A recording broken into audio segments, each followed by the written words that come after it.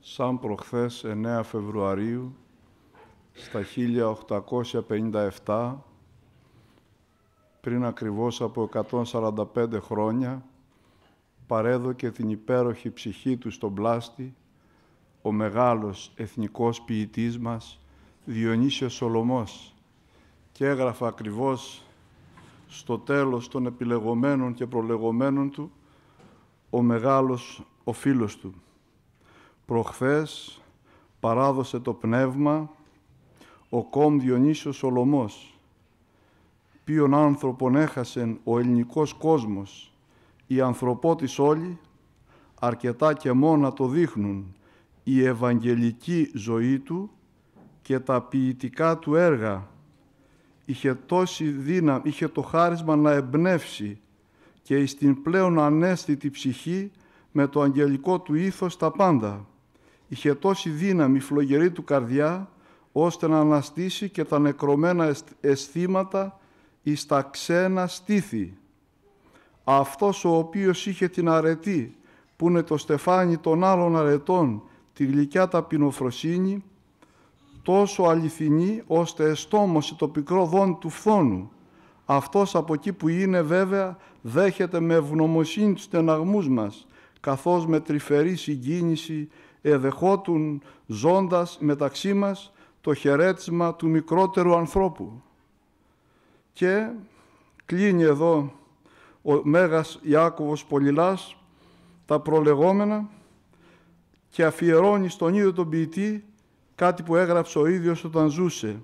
Για άλλους, αλλά ταιριάζει ακριβώς για τον εαυτό του. Και τι έγραφε; «Κι αν για τα πόδια σου καλέ, κι αν για την κεφαλή σου, κρίνους ο λίθος έβγανε, χρυσό στεφάνιο ήλιος, δώρο δεν έχουνε για σε και για το μέσα πλούτος, όμορφος κόσμος ηθικός, αγγελικά πλασμένος. Και ο μεγάλος δεύτερος εθνικός ποιητής μας, Κωστής Παλαμάς, που κι αυτός απέθανε στο τέλος του Φεβρουαρίου, 27 Φεβρουαρίου 1943, θα μιλήσουμε και για αυτόν, τι λέει για τον μεγάλο Σολομό. Οι μεγάλοι καταλαβαίνουν τους μεγάλους και τους περιγράφουν. Δεν ξέρω αν βρίσκεται σ' άλλη λογοτεχνία ποιητής με έργα έτσι λιγοστά και έτσι μισοκάματα, όμοια γερός και πλούσιος και σημαντικός, σαν το Σολομό. Ο, Σολεμό, αν δεν κράτησε όπλο, με τη λύρα πλήρωσε το μεγάλο φόρο προς την πατρίδα. Φτάνει πως έγραψε τον ύμνο και την καταστροφή των ψαρών και τους ελεύθερους πολιορκημένους. Και τελειώνει στο χασμούς ο Παλαμάς για το Σολομός εξής. Θα περάσουν τα χρόνια και οι καιροί και η Μούσα θα χτίσει στην Ελλάδα ναούς και λειτουργούς θαύροι αγνότερους, πιο άξιους, πιο ξακουστούς. Και ακόμα ο Σολομός θα στέκεται στην κορυφή ζωντανή πηγή για την νεότερη ποίηση. Για την αλήθεια πολεμούσε και ο Σολομός όταν γύρευε την απόλυτη ομορφιά στην ποίηση και τη ζωή στην ομορφιά στη γλώσσα. Δεν είναι εκείνος που είπε το έθνος πρέπει να μάθει να θεωρεί εθνικών ότι είναι αληθινό. Ο γέροντας Πορφύριος αποτιμώντας το μεγάλο Σολομό έλεγε «Είδατε βρε παιδιά, για να είναι ένθεος ο Σολομός, πόσο ψηλά ανέβει» γεννήθηκε σε περιβάλλον Ιταλικό, Δυτικό και Καθολικό. Έτσι ανατράφηκε και έφυγε από τη Ζάκυνθο δέκα χρονών παιδάκι αφού το ορφάνεψε από πατέρα τον Νικόλαο Σολομό που είχε έρθει από την Κρήτη. Πήγε στην Ιταλία σαν βάρβαρος γράφει ο ίδιος και εκεί έμαθε όλη τη σοφία, καλλιέργησε την ψυχή του, και έγινε δυνατός και σπουδαίος μέσα σε δέκα χρόνια. Μα δεν έμεινε εκεί. Κοντά στο Μόντι και το Μοντάνι και τους άλλους ποιητές και λογίους. Ξαναγύρισε στην πατρίδα του. Διότι δύο αγάπες, δύο αγάπες τον τραβούσαν πάλι στο άνθος της Ανατολής, στη Ζάκυνθο. Δύο αγάπες η ελευθερία και η γλώσσα. Αυτό που λέει στο διάλογο. Μήπως έχω και τίποτα άλλο στο νου μου, πάρεξ ελευθερία και γλώσσα. Ποια ήταν η ελευθερία, η Ορθοδοξία παρακαλώ. Και ποια ήταν η γλώσσα, το δημοτικό τραγούδι. Αφού σε ένα ωραίο ποίημα που έχει γράψει η σκιά του Ομήρου, βάνει τον Όμηρο να του λέει να γράφει και να ομιλεί στη δημοτική, που είναι η γλώσσα του λαού, που είναι η λαλούμενη, που είναι η θεσπεσία γλώσσα, η οποία όμως, σημειώστε αυτό, γιατί έχουμε ακρότες και εκεί, βγήκε, βγήκε από τα νταμάρια και από την αθάνατη πηγή της αρχαίας ελληνικής και της Βυζαντινής. Στην εποχή του Σολομού τι κάνει λογιότατοι, το αναφέρει στο διάλογο, μπορείτε να το διαβάσετε όσοι θέλετε. Προσπαθούσαν να κάνουν τους ανθρώπους να μιλάνε με τη γλώσσα του Ομήρου. Αν ήταν δυνατόν. Η γλώσσα είναι δυναμικό γεγονός. Τρέχει στους αιώνες. Ό,τι χρειάζεται το κρατάει και ό,τι δεν χρειάζεται το αφήνει. Και μάλιστα η ελληνική γλώσσα, μοναδική γλώσσα στον κόσμο η οποία έχει το γεγονός της συνέχειας. Δεν διεκόπη ποτέ. Από τις αμμουδιές του Ομήρου μέχρι τα σήμερα λαλείται και ομιλείται συνεχώς και γράφεται. Έχουμε διάφορα ιδιώματα, διάφορες παραλλαγές, διάφορες φάσεις, θα το λέγαμε καλύτερα, αλλά είναι η ίδια η γλώσσα. Ενώ η λατινική, η άλλη μεγάλη κλασική γλώσσα που είναι πρωτοπέδι της αρχαίας ελληνικής, διεκόπη κάποτε και έχουμε σήμερα τις νεολατινογενείς γλώσσες, τις λατινογενείς, την αγγλική, τη γαλλική κλπ. Η ελληνική γλώσσα δεν διεκόπη ποτέ, δεν σταμάτησε ποτέ. Ο Σολομός εχαίρεται να διαβάζει τον Όμηρο και τους αρχαίους και να τους μεταφράζει στη λαλούμενη. Δεν θα καταργήσουμε τη γλώσσα μας. Η γλώσσα είναι ενιαία και ήταν λάθος, καταργήσαμε τα αρχαία ελληνικά. Τα οποία διδάσκαμε βέβαια κατά ένα τρόπο τυπικό και βαρετό. Σε σημείο που να μην θέλουν τα παιδιά και οι σπουδαστέ φοιτητέ και μαθητέ όλων των βαθμίδων να μην θέλουν να μάθουν αρχαία ελληνικά γιατί τα διδάσκαμε με τον πιο άχαρο και αντιδραστικό τρόπο. Και κατορθώθηκε έτσι να φτάσουμε στο άλλο άκρο να κοπούμε από τις ρίζες μας. Ο Σολομός δεν έλεγε αυτό. Ο Σολομός πήγαινε και στην αρχαία και στη Βυζαντινή και στο Ευαγγέλιο και στον Ιώβ και στον Ιερεμία και στον Άγιο Κοσμά τον Μελωδό, επίσκοπο Μαϊουμά, τον Αγιοπολίτη και διάβαζε τα αθάνατα και θεόπνευστα αυτά έργα. Και μαγεύεται η ψυχή του, εφρενόταν η καρδιά του. Και του ήρχονται μεγάλες, πολύ μεγάλες εμπνεύσεις.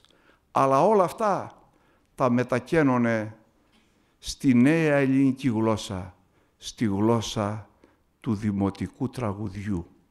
Το δημοτικό τραγούδι είναι το αίμα και το δάκρυ του λαού. Η δημοτική γλώσσα είναι η γλώσσα των νεομαρτύρων, είναι η γλώσσα των νεοελλήνων, είναι η γλώσσα εκείνη που καταστάλαξε από την αρχαία και τη βυζαντινή και τη λογία, από τις οποίες όμως ουδέποτε απεκόπη. Και αυτό το βρίσκομαι να απεικονίζεται παραστατικά και καθαρότατα στον άλλο μεγάλο της νεολικής λογοτεχνίας μας, στον κύριο Αλέξανδρο Παπαδιαμάντη. Και ό, θυμάμαι το μεγάλο ελίτη που λέει Όπου σας βρίσκει το κακό και όπου θολώνει ο νους σας, μνημονεύετε Διονύσιος Σολομό και μνημονεύετε Αλέξανδρο Παπαδιαμάντη. Τι έχουμε στον κύριο Αλέξανδρο Παπαδιαμάντη, χωρίς λογιοτατισμούς και χωρίς μανίες επιβολής της αρχαίας ελληνικής ως έχει, τη βρίσκουμε την ιστορία και την παρουσία συνόλου της ελληνικής γλώσσης από τον Όμηρο μέχρι τις ημέρες του κ. Αλέξανδρου και μέχρι σήμερα. Βλέπουμε στα θάνατα έργα του διηγήματα, μυθιστορήματα και ό,τι άλλο να περνάει ολόκληρη γλώσσα. Όμηρος, Ευαγγέλιο, Βυζαντινή, νέο μαρτυρολόγιο, δημοτικό τραγούδι και η λαλούμενη δημοτική. Όχι φτιαχτεί όπως τώρα που πολλοί μεταφράζουν την καθαρεύουσα ή την αρχαία και τη λένε δημοτική. Άλλη είναι η δομή της αρχαίας και της καθαρεύουσας και άλλη η δομή της νεοελληνικής κοινής θα τη λέγαμε καλύτερα.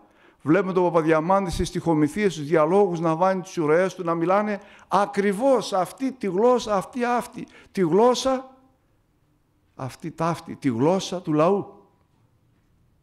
Του λαού μας. Και είναι υπέροχη και με τους ιδιωματισμούς και με τις ντοπιολαλιές και με την κόφωση των φωνιέντων και με την παράληψη των φωνιέντων κρατείτε μόνο το φωνήεν που είναι φορέας του τόνου το πλάρε λέει αντί να πει το πουλάρι λοιπόν αλλά τι έχουμε ολόκληρη τη γλώσσα μας τον κύριο Αλέξανδρο και είναι η γλώσσα εκεί που κατά τον Ελίτη ασκεί μαγεία στις ψυχές, στη διάνοια, στη ζωή και στο βίο μας. Θα πιο κοντά παιδιά, αλλά τώρα γεμίσει αυτό, δεν πειράζει. Και είναι πολύ σπουδαίο αυτό. Γι' αυτό και τον Παπαδιαμάντη τον διαβάζουμε και τον ξαναδιαβάζουμε όπως και τον Σολομό. Παρότι φαίνονται διαφορετικοί, στο βάθος και στην ουσία είναι ίδιοι. Γιατί ο Παπαδιαμάντης γράφει πηγαία, γράφει με τις ψυχής το πύρωμα, γράφει με το αίμα της καρδιάς του, γράφει ολόκληρη την ελληνική γλώσσα, γιατί και η αρχαία και η καθαρεύουσα έχουν τη χάρη τους, έχουν την ομορφιά τους, αλλά και οι δημοτικοί είναι το στερνοπέδι τους. Εκεί κατασταλάζουν, εκεί καταλήγουν και θα προχωρήσουμε και θα προχωρήσουμε και θα βρεθεί ακόμα εκείνος ο οποίος αδελφοί και πατέρες μου θα καταργήσει την ελληνική γλώσσα. Γιατί η ελληνική γλώσσα πάει με τη ρωμιοσύνη. Την ελληνική γλώσσα τη διάλεξε η Εκκλησία, δηλαδή ο ίδιος ο Χριστός και το Άγιο Πνεύμα και κατέγραψε σε αυτή το Ιερό Ευαγγέλιο. Δεν την επέβαλαν οι Έλληνες. Αστεία πράγματα. Η Εκκλησία επέβαλε την ελληνική γλώσσα. Το καταλαβαίνετε αυτό; Γιατί μας κατηγορούν πολλές φορές. Ότι τάχα εμείς για τον ένα λόγο ή τον άλλον βάλαμε τη γλώσσα μας. Δεν βάλαμε εμείς. Δεν είμαστε τόσο άξιοι. Άλλωστε ο ελληνισμός στα χρόνια του Χριστού έπαιρνε τα λίστια όπως και όλη η ανθρωπότητος και είχε φτάσει, η ανθρωπότητα και είχε φτάσει στο τέλος της. Ο Χριστός εδιάλεξε τη γλώσσα την ελληνική που είναι η τελειότερη γλώσσα του κόσμου, η πιο ποιητική, η πιο εκφραστική και με αυτή εξέφρασε και διατύπωσε ο Θεάνθρωπος δια του Αγίου Πνεύματος και μέσα των Ιερών Αποστόλων και Ιερών Συγγραφέων τα ρήματα του ουρανού την αλήθειά του που μένει στον αιώνα. Και είναι καταδικασμένη λοιπόν η Εκκλησία με την καλή έννοια να λαλεί την ελληνική γλώσσα. Και είμαστε εμείς περήφανοι και τυχεροί, ας το πούμε και αυτό. Να είναι γραμμένο το Ευαγγέλιο στη δική μας τη γλώσσα. Και η ελληνική Ορθόδοξος Εκκλησία είναι η μόνη Ορθόδοξη Εκκλησία στον κόσμο που ακούει τον Απόστολο το Ευαγγέλιο και τη Θεία Λειτουργία στη γλώσσα της, στο πρωτότυπο. Στο πρωτότυπο. Και θα προχωρήσει η ελληνική γλώσσα. Δεν θα βρεθεί κανείς να την καταργήσει. Θα συνεχίσει, θα συνεχίσει και όταν θα έρθει η συντέλεια του κόσμου, το ποτάμι της γλώσσας μας θα εκβάλει στον παράδεισο. Θα εκβάλει στον παράδεισο. Γιατί πολλοί φιλέλληνες και Ρώσοι και άλλοι Ορθόδοξοι τι λένε, φοβούμεθα ότι και στον παράδεισο την ελληνική γλώσσα θα ομιλούμε. Αλλά η ελληνική γλώσσα, επειδή έχει το μέγα αυτό προνόμιο και είναι η γλώσσα του Θεού, τι γίνεται, βάλετε. Βάλετε. Και ισχύει εδώ αυτό που έχει πει και έχουμε πολλές φορές αναφέρει ο μεγάλος και θείος Κολοκοτρώνης. Έχετε δει μπρένα πετροβολούν πλατάνια τις καρύδιες πετροβολούν που έχουν καρύδια. Έχει καρύδια η ελληνική γλώσσα και το παραδέχονται περισσότερο όχι οι Έλληνες δυστυχώς, αλλά οι ξένοι, οι φιλέλληνες, οι ελληνιστέ, εκείνοι που μαγεύτηκαν, μαγεύονται και θα μαγεύονται μέχρι τη συντέλεια του κόσμου από την αθάνατη ελληνική γλώσσα, από τη μουσική γλώσσα, από την υπέροχη αυτή γλώσσα. Γι' αυτό είναι τιμή και χαρά μας και κάφημα που την έχουμε. Κάφημα εν Κυρίω και που μας διάλεξε ο Χριστός τη γλώσσα και η Άγια Εκκλησία και αναγκάστηκαν λαοί και τα έθνη όχι με επιβολή αλλά από ενθουσιασμό και από λαχτάρα και από θεία μαγεία να μάθουν την ελληνική γλώσσα, την, την ελληνική γλώσσα του Μεγάλου Αλεξάνδρου, να διαβάζουν το Ευαγγέλιο στο πρωτότυπο, στην ελληνική γλώσσα. Βάλετε σήμερα και διάφοροι λένε τόνα και τ' άλλο. Αυτοί θα περάσουν. Η γλώσσα θα μείνει και θα μαγεύει και θα ενθουσιάζει και θα χαροποιεί. Ας τη διώξουν από παντού. Ας την αποβάλουν. Ας κάνουν οτιδήποτε. Και μια εκκλησιά να λειτουργεί και μια εκκλησιά να λειτουργεί στα ελληνικά δεν χάνεται η ελληνική γλώσσα. Και η αρχαία και η καθαρεύουσα και η νέα ελληνική. Η μία είναι γιαγιά, η άλλη είναι η κόρη και η άλλη είναι η εγγονή. Δεν χάνεται. Ακούμε τη Θεία Λειτουργία αιώνες τώρα. Ακούμε τα Ιερά Αναγνώσματα αιώνες τώρα. Και δεν κουραστήκαμε. Κάθε φορά τα αισθανόμεθα καινούργια. Τα νιώθουμε ζωντανά. Μπαίνουν μέσα στην ψυχή μας. Και αν κάποιες λεξούλες δεν καταλαβαίνουμε τι λένε, υπάρχει και η διέστηση, υπάρχει και το αίσθημα, υπάρχει και το Πνεύμα το Άγιο, το οποίο μας φωτίζει και καταλαβαίνουμε και κατανοούμε τα πνευματικά και υψηλά νοήματα της Θείας Λειτουργίας και των ύμνων, αλλά και της Ιεράς και Αγίας Γραφής. Ήλθε λοιπόν ο Μεγάλος Σολομός από την Ιταλία ξανά στην Ελλάδα για τον τράβηξαν οι δύο αγάπες, η ελευθερία και η γλώσσα. Μάθαινε στους ανθρώπους τη δημοτική, μαγεμένος από την αρχαία και επηρεασμένος από τη Βυζαντινή. Και τη δίδασκε σαν ένα ωραίο ποτάμι, σαν ωραίο παραμύθι, σαν μια ωραία ιστορία, σαν ότι το πιο σημαντικό και υπέροχο. Και τι γινότανε, έγραφε σε αυτήν, έγραψε πρώτα και κύρια τον εθνικό ύμνο στην ελευθερία. Σε γλώσσα δημοτική. Υμνούσε την ελευθερία με αυτή τη γλώσσα, με αυτό το ιδίωμα το γλωσσικό, με αυτό το αγώνι της αρχαίας και την κόρη της καθαρεύουσας. Υμνούσε την ελευθερία. Έχουμε τον περίπιστο ύμνο του εις την ελευθερία. Ποια είναι αυτή η ελευθερία; Άμα το διαβάσουμε τον ύμνο ολόκληρο που αποτελείται 158 στροφών, βλέπουμε ότι η ελευθερία είναι το Πνεύμα του Άγιο. Η θεά αυτή της ελευθερίας που πήγε στην Πολιτσά που πήγε στο Μεσολόγγι την ημέρα του Χριστού, όπου άνθιζαν οι λόγοι για το τέκνο του Θεού, που πήγε στα Δερβενάκια, που έκλαψε τους Έλληνες κατά το διχασμό διαρκούς της Επαναστάσεως και που στο τέλος προτείνει στους βασιλείς, στους χριστιανούς της Ευρώπης που κρατάνε το Σταυρό, να έλθουν και να χτυπήσουν και εδώ, δηλαδή στον Αβαρίνο. Ήρθαν και χτύπησαν και ελευθέρωσαν την πατρίδα μας από τους Τούρκους. Είναι υπέροχος ο ύμνος στην ελευθερία.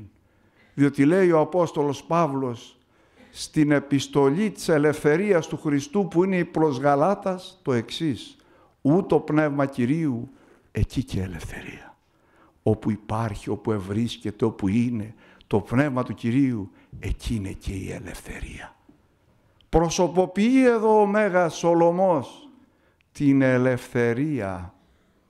Την ελευθερία που κρατά στα χέρια το σταυρό και τα βάγια, που πάει και νικά. Και την χαίρεται ο ελληνικός λαός, εμπνέεται από αυτήν, γιατί όπως λέει ο Θοδωράκης Κολοκοτρώνης στα απομνημονεύματά του, η ιδέα για την ελευθερία και η επιθυμία, όπως λέει επακριβώς, μας ήρθε ως μία ιδέα, ως μία βροχή από τον ουρανό. Έβαλε ο Θεός την υπογραφή Του για την ελευθερία της Ελλάδος και την παίρνει πίσω. Και όπως λέει ο μεγάλος Φωτάκος στα απομονέμα του Κολοκοτρώνη, με τα χέρια των αγωνιστών κρατούσε ο Θεός τα όπλα και ελευθέρωνε την πατρίδα μας. Γι' αυτό και εκείνοι μακάρι και μεγάλοι πολεμούσαν για του Χριστού την πίστη, την Αγία και της πατρίδος την ελευθερία. Και όταν πιάσαμε τα όπλα, είπε ο μεγάλος Κολοκοτρώνης στην πνίκα στους φοιτητάς του Πανεπιστημίου, είπαμε πρώτα υπερπίστεως και μετά υπερπατρίδος. Γιατί πατρίδα δεν υπήρχε. Ή μάλλον πατρίδα, τροφός και φρουρός ήταν η Άγια Εκκλησιά. Και όταν κάποιοι ξένοι περιηγητέ ρώτησαν ο Τζοπάνης σε κάποιο βουνό που επισκέφθησαν τι πιστεύει, κοίτα κοντά ένα εκκλησάκι και χτυπώντας το, δείχνοντάς το με τη μαγκούρα του είπε «Εγώ πιστεύω ότι πιστεύει αυτή», δείχνοντας την εκκλησία έτσι με εγκάφχης. Και τι πιστεύει αυτή του λένε «Ό,τι πιστεύω κι εγώ». Ό,τι πιστεύω κι εγώ. Έχει μεγάλη σημασία αυτό. Δηλαδή έχουμε ταύτιση του ελληνικού λαού με την Ορθόδοξη εκκλησία του, τη μάνα του, την τροφό του, τη φρουρό του. Όταν έπεσε ως πολιτικός συνασπισμός το Βυζαντινό κράτος, η Εκκλησία συνέχισε την πορεία της μέσα στο πέλαγος και στο χώρο της πηχτής σκλαβιάς. Οι λόγοι και οι δυνατοί και οι όποιοι άλλοι πήραν το δρόμο για τη Δύση. Έμαθαν τους Ιταλούς και τους άλλους τα κλασικά γράμματα και τη Θεία Γραφή. Έμεινε όμως σε αυτόν εδώ τον κατακαημένο τόπο που μπήκε στην Αγία και Μεγάλη του Παρασκευή δεσποτάδες, παπάδες, διάκοι, καλόγεροι και χριστιανοί.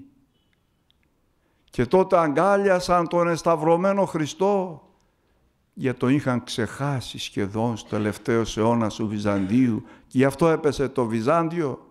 Κατάλαβαν τη θλιμμένη Παναγιά και πήραν από τη χάρη τους τόση παρηγοριά, τόση δύναμη, τόση ελπίδα που φέρεται με το στόμα του δημοτικού τραγουδιού να παρηγορούν την παρηγορήτρα Παναγιά και τον αφέντη το Χριστό λέγοντας «Σώπασε κύρα Δέσποινα και μην πολλά δακρύζεις, πάλι με χρόνια με καιρούς, πάλι δικά μας θα είναι». Και έγραψε ο μεγάλος Διονύσιος Σολομός παρακαλώ τα πάτε στο σπίτι σας και μπορείτε και έχετε διαβάσει το εθνικό ύμνο έγραψε και τους ελεύθερους πολιορκημένους, εμπνεόμενος από το μικρό αλωνάκι, το πολιορκημένο Μεσολόγγι. Και όταν άκουγε από το λόφο του στράνι τις κανονιές που, ακού, που γίνονται στο Μεσολόγγι, που έπεφταν στο Μεσολόγγι, έλεγε κλαίγοντας «Βάστα καημένο Μεσολόγγι». Και εκείνος με τη λύρα του τη δίκαιη που κράταγε στον νόμο έψαλε και τραγούδισε τα πάθια και τους καημούς της πονεμένης ρωμιοσύνης αφενός και αφετέρου εμψύχωσε τους αγωνιστάς. Μπήκε μέσα στην ομορφιά της ελληνορθοδοξίας, του ελληνικού τραγουδιού και του Αγίου Πνεύματος. Και ελαβώθηκε. Το λέω ο ίδιος άλλο σε, έναν αξονικό στίχο στο ποίημά του Πόρφυρας. Άστραψε φως και γνώρισε ο νιός τον εαυτό του. Γνώρισε την Ορθοδοξία. Γνώρισε αυτό το μάγεμα, αυτό το όνειρο, αυτό που βασίλεμα δεν έχει.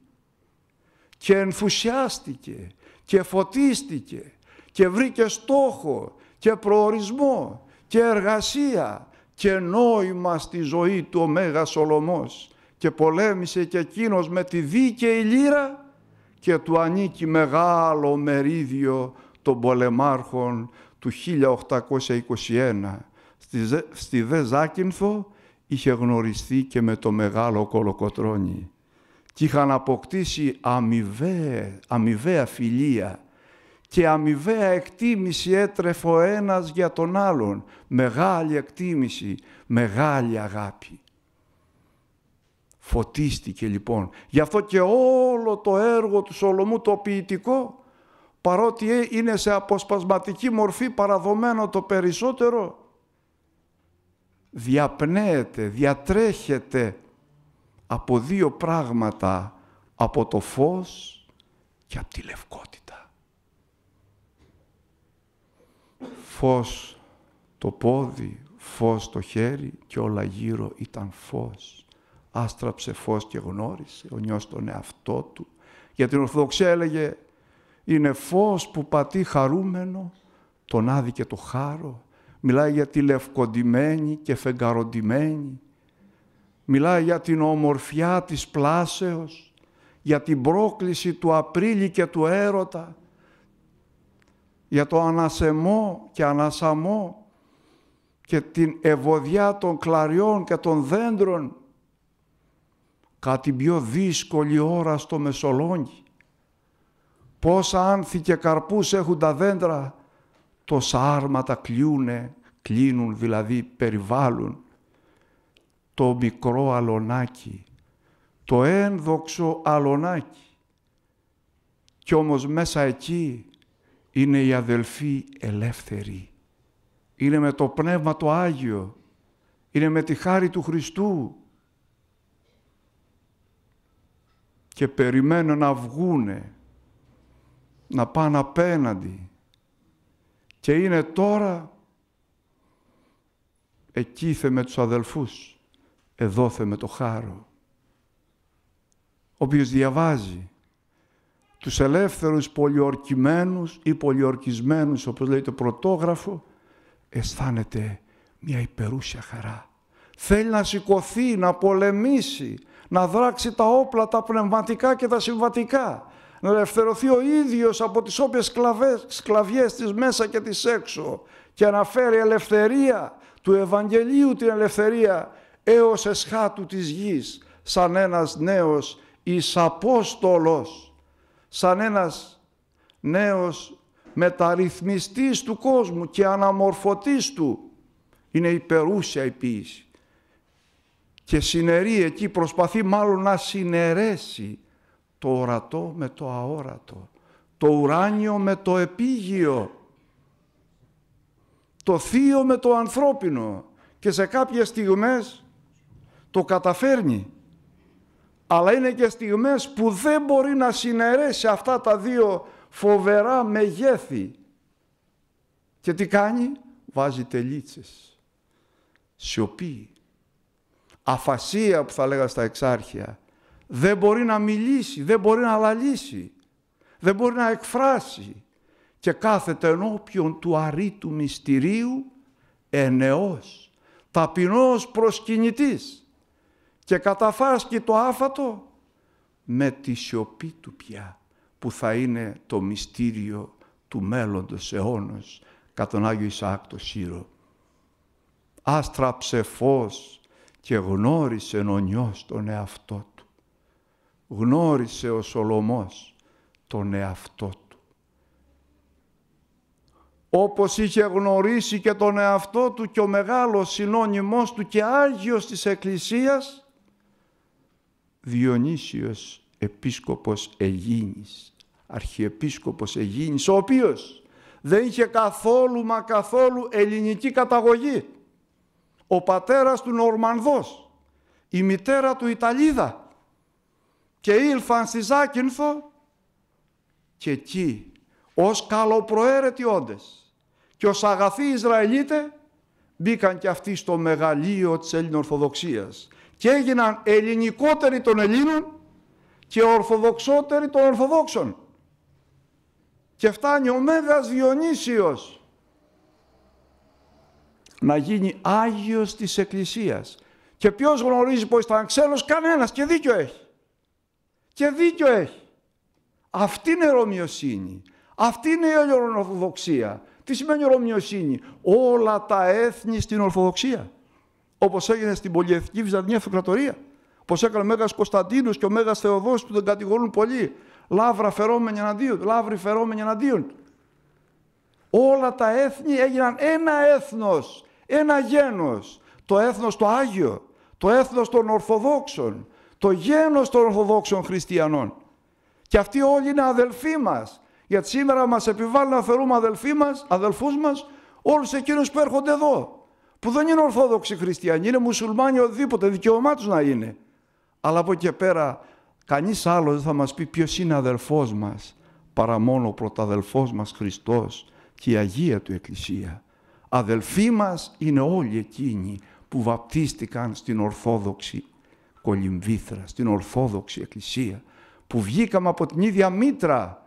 Για δελφής, δελφίος στα αρχαία σημαίνει τη μήτρα, την κοιλιά και το α το αθρηστικό, δεν είναι αρνητικό εδώ, το α το αθρηστικό σημαίνει όλους εκείνους οι οποίοι βγήκαν από την ίδια κολυμβήθρα. Κι ας είναι Βούλγαροι, κι ας είναι Αλβανοί, κι ας είναι Κινέζοι, κι ας είναι οτιδήποτε.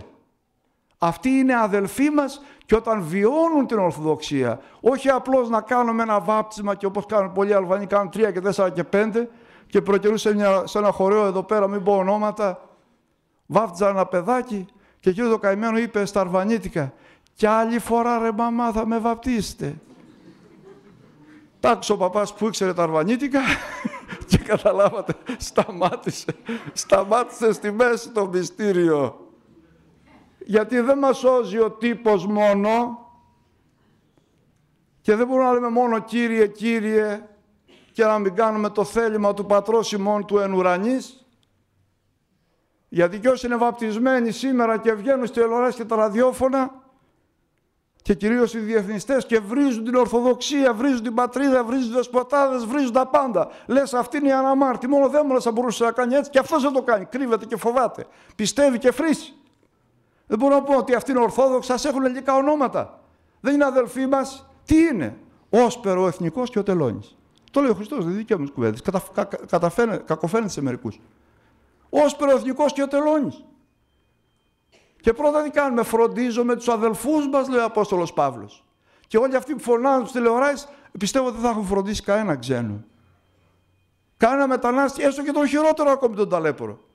Τα έχουμε αυτούς εγώ. Άλλο φταίει που οι εκκλησίες, ο αρχιεπισκοπός μας, οι ενορίες, τους δίνουν και τρώνε, τους δίνουν και πίνουν, τους δίνουν και περνάνε. Αυτοί είμαστε οι Έλληνες ρε παιδιά. Γιατί είμαστε Ορθόδοξοι, έχουμε μέσα στο DNA μας που και από αυτό το σταθμό, έχουμε την Ορθοδοξία. Τι θέλετε από εκεί και πέρα. Έχουμε την αγάπη, έχουμε τη συγνώμη, έχουμε την καλοσύνη, έχουμε την ταπεινοσύνη. Έχουμε την εσπλαχνία, έχουμε την ανθρωπιά ευξημένη μέσα στην Ορθοδοξία. Έχουμε αυτό το μεγαλείο, τι να κάνουμε δηλαδή. Και μας τη λένε και από πάνω. Μας τη λένε γιατί η Ελληνοορθόδοξη Εκκλησία και γενικότερα η Ορθόδοξη έχει καρύδια και πετροβολάν. Πετροβολάν. Και έτσι έχει ο λαός στείλει βουλευτάς. Βουλευτής είναι πατέρας του έθνους.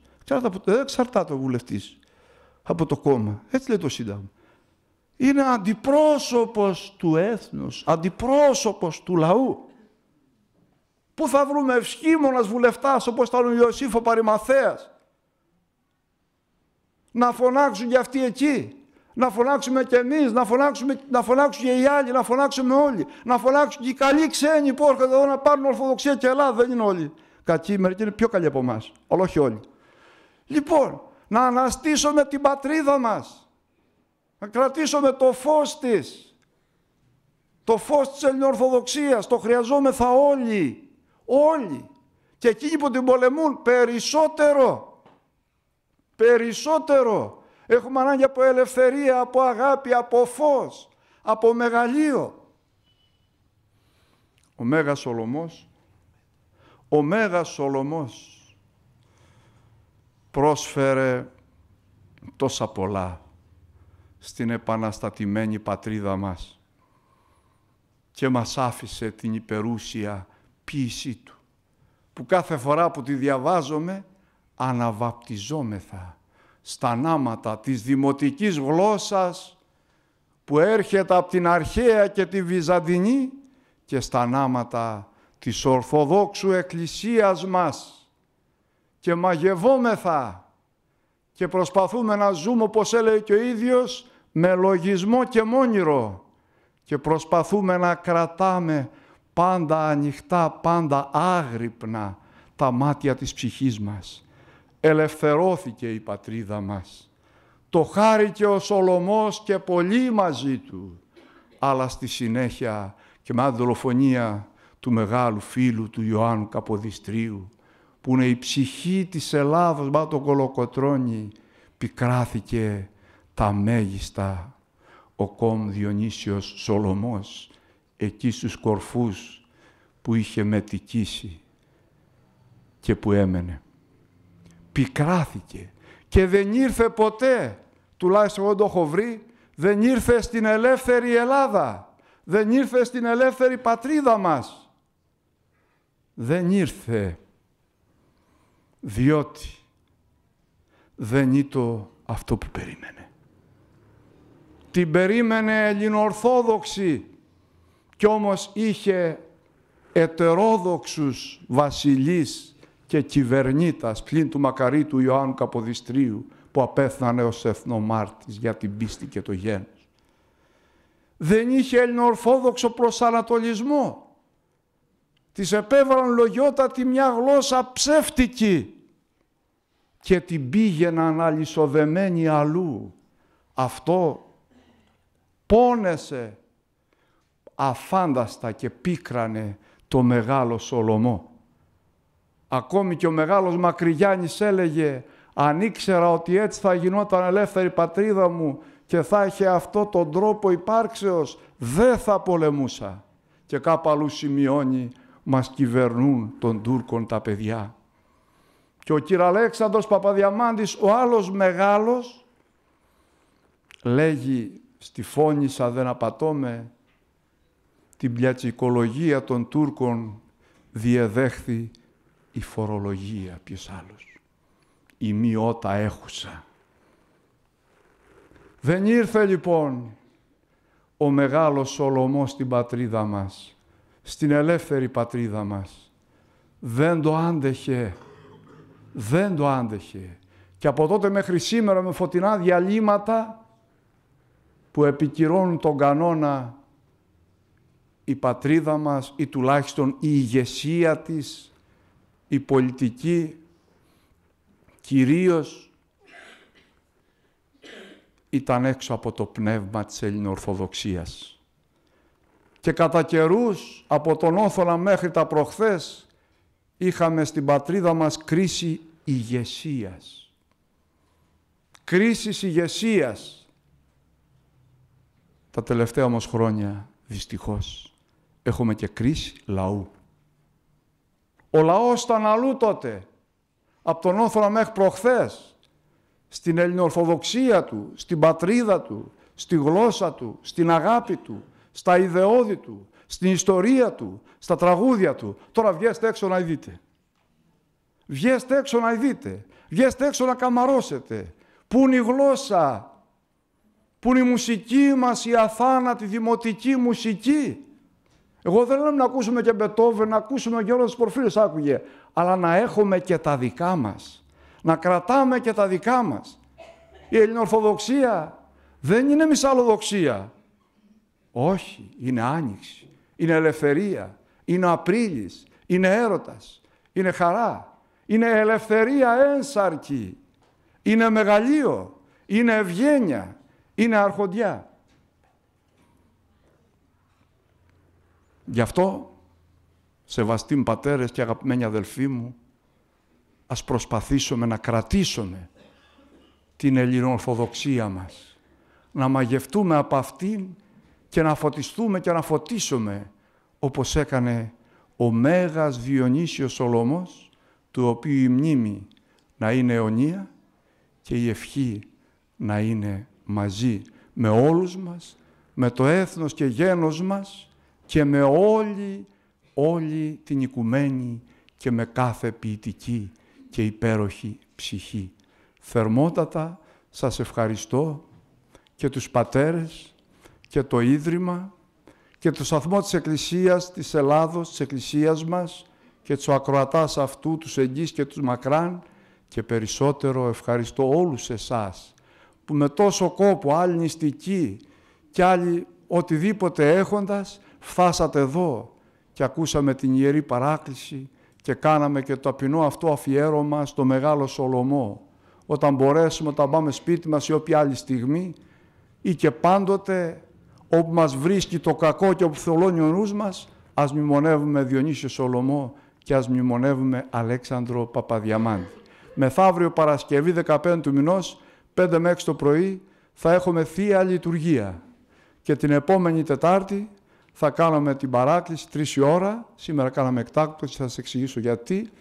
Και στη συνέχεια θα μιλήσουμε με θέμα η Αγία Φιλοθέη, η κυρά των Αθηνών. Τώρα ας ψάλουμε τον εθνικό μου της Εκκλησίας και θα σας πω μετά τι θα κάνουμε. Τι περμάχο στρατηγότα νικητήρια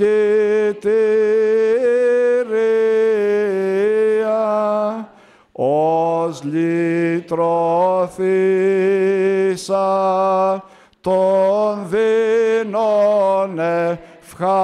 ευχαριστήρια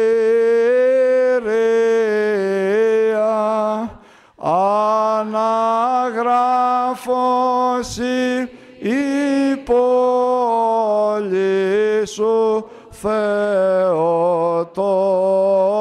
και άλλος έχουν σαν το κράτος απροσμάχητον εκπαντίον